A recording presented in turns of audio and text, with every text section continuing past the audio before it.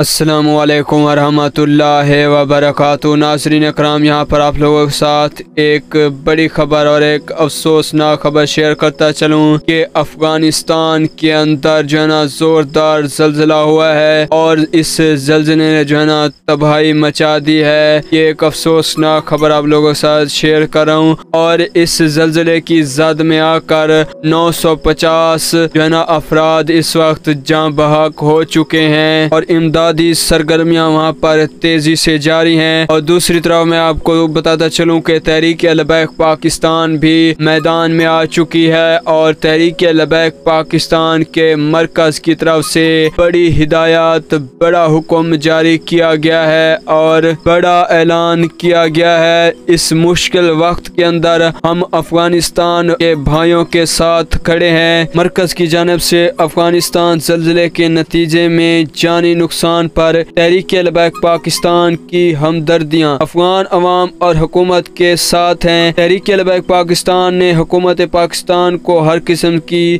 امداد، خصوصاً طبی سہولیات کی فراہمی کی ہدایات دے دی ہیں۔ ناظرین اکرام، یہ ہے تحریک لبیک پاکستان۔ چینل کو ضرور سبسکرائب کر لیجیے گا۔ اللہ حافظ۔